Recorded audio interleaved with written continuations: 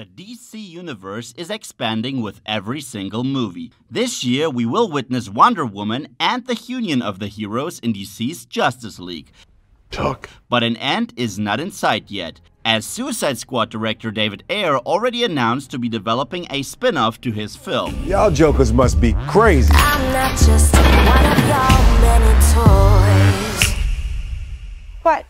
Which awaits us with Gotham City Sirens. Who or what are the Gotham City Sirens? The Gotham City Sirens is a union between three extremely dangerous women who all, as the title suggests, reside in Gotham City. Together, they form a pact to look out after one another and to fight side by side. Who belongs to the Sirens? Catwoman. Selina Kyle is the main character of the comic series. Meow.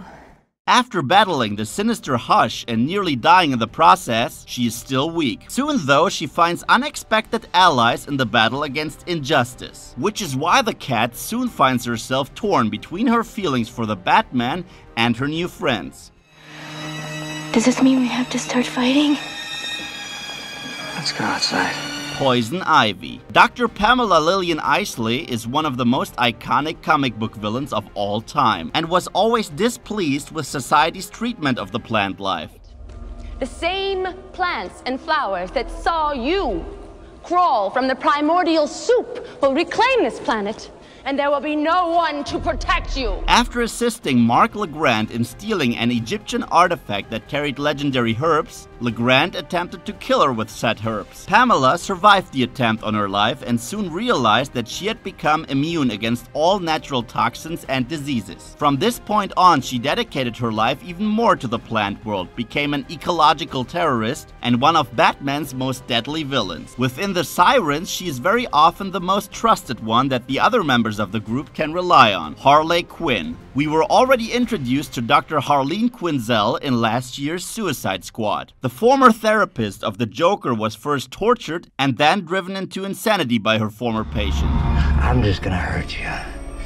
Really, really bad. As Harley Quinn, she became the lover of the clown and assisted him in assassinating Jason Todd, aka Robin, before she was apprehended by Batman. In prison, she became a member of the Suicide Squad.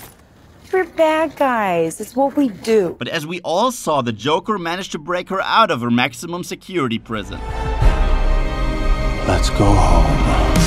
The team, she is the most unstable one, who is able to betray everyone for the Joker as she simply cannot stop loving him. The plot. The comic book chronologically takes place after the events of the Hush storyline, in which an old friend of Bruce Wayne became a supervillain who, among other things, cut out Selina Kyle's heart. In the ongoing story, the organ was planted back into her body, and after recovering, she regularly fought crime on the streets of Gotham. During one of her night missions, Poison Ivy saved Selina's life and brought her to her lair that she took over from the Riddler. Upon arrival, Selina also encountered Harley Quinn, who was living with Ivy. The two of them proposed to form a pact with Kyle under the condition that she would tell them the true identity of the Batman. However, even under the influence of a strong truth serum, Selina managed to keep that a secret. Since Poison Ivy and Harley Quinn assumed that she frankly did not know the identity, the Sirens were formed. Together, the ladies took on the criminal underworld of Gotham City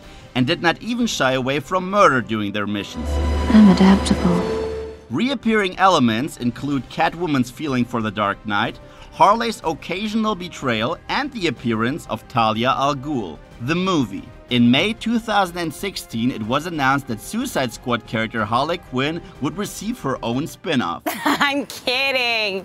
That's not what they really said. David Ayer is set to once again helm the film after directing Suicide Squad. Apart from Margot Robbie, who will reprise Harley Quinn once again, no other cast members have officially been confirmed yet. But it is safe to assume that we will see new versions of both Poison Ivy and Catwoman in the film. We believe Christina Hendricks could make for an awesome Poison Ivy. Eliza Dushku, on the other hand, is someone that we'd like to see as Catwoman. The villain. The villain of the film was also hinted at. And it seems like the Sirens will go up against Black Mask. Roman Sionis grew up in Gotham City as the son of wealthy yet superficial and neglecting parents. Constantly humiliated by his parents, Roman burned down the family mansion, killing them. He then took over the cosmetics company of the family. After an untested product disfigured multiple women, Roman lost the business and was sentenced to prison. While visiting the grave of his parents, he was struck by lightning, which he saw as a sign to start a new life. Thus, he carved himself a skull-like mask with pieces of his father's casket and became the supervillain